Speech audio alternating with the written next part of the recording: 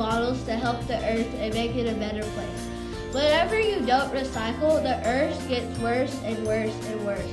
Only about 30% of what we throw away is recycled.